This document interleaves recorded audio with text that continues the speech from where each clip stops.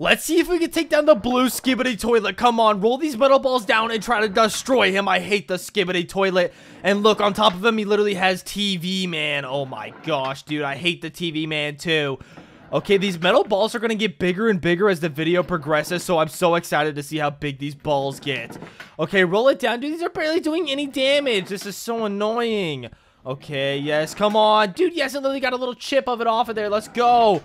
Okay, and that one also chipped it, but dude, look at this next one. This this next one is actually so big, it has to destroy it.